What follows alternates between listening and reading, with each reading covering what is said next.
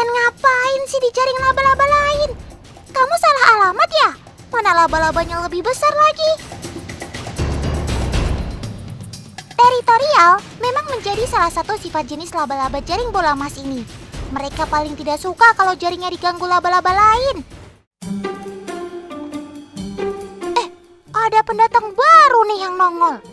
Kamu mau bantuin Otan buat misahin mereka ya, Sob? Tolong Otan ya, Sob.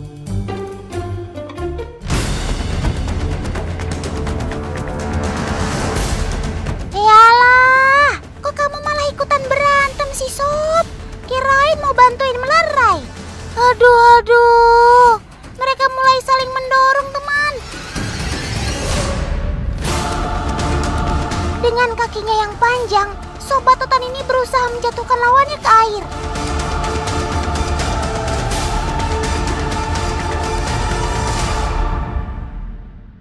Nah kan, apa Otan bilang?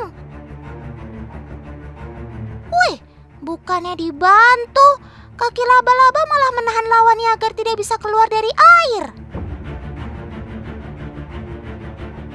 Kamu kok kejam banget sih, Sob? Otan gak nyangka loh kamu sejahat itu.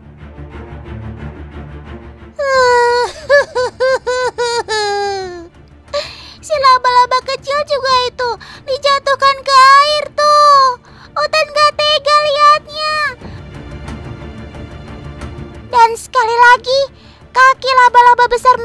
agar laba-laba kecil tenggelam.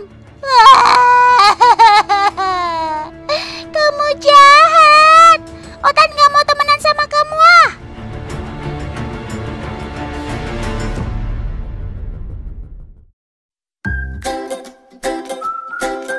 Jaring atau sarang laba-laba memang merupakan bagian penting bagi hidup seekor laba-laba. Nggak heran kalau mereka bisa saling bertarung untuk memperebutkannya. Menjadi sarang sebagai tempat hidup, jaring juga digunakan laba-laba untuk menangkap dan menjerat mangsanya teman.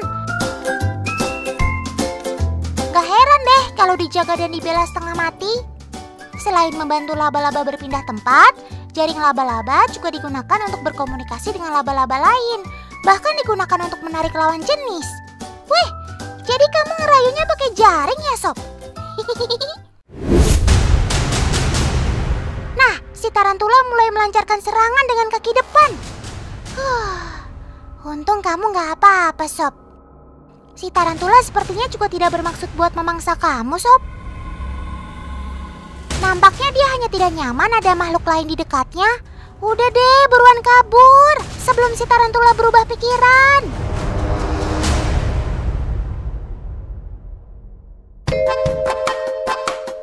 Termasuk hewan terestrial alias hidup di tanah, tarantula memiliki kaki-kaki yang bisa digunakan untuk segala medan loh. Dengan keempat pasang kakinya yang jenjang dan sepasang kaki depan yang pendek, membuat tarantula bisa melibas semua medan yang dilaluinya. Mulai dari batang pohon, tanah, hingga jerami. Bahkan beberapa tarantula pohon dibekali lapisan bulu-bulu halus pada ujung kakinya yang bisa digunakan untuk memanjat. Bulu-bulu ini disebut dengan nama scopula, juga berfungsi sebagai perekat. Gak cuma itu aja, tarantula juga memiliki bulu-bulu yang berfungsi sebagai sensor atau pemindai. Tuh lihat, si tarantula bisa memanjat kaktus tanpa terkena duri-duri kaktus. Weh, hebat banget sih kamu sob. Berbeda dengan sepupunya si laba-laba yang takut air, tarantula justru bisa berenang loh. Tuh, gesit juga kan berenangnya. Kaki depan dan kaki belakangnya karena berat jenis yang lebih ringan daripada air, tarantula juga bisa mengambang teman. Cakep!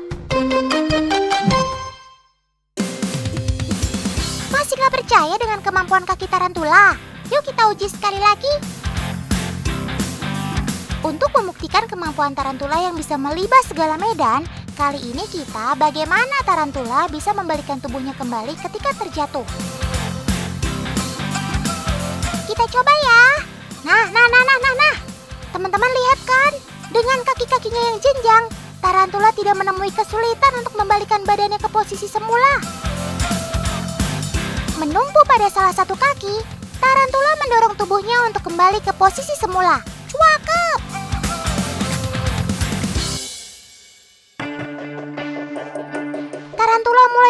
Bersikap bertahan dengan menegakkan kaki depannya. Udah dong, kasih lewat aja si Picis.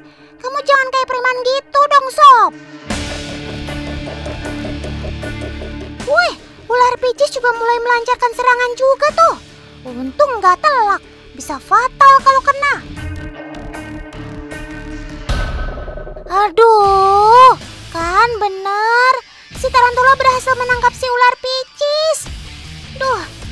Gigit taring tarantula bisa gawat nih. Meski tidak berbahaya bagi manusia, racun yang dilepaskan tarantula bisa sangat berbahaya bagi para mangsanya.